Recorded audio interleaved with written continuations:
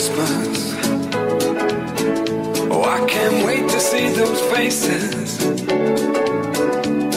I'm driving home for Christmas, yeah.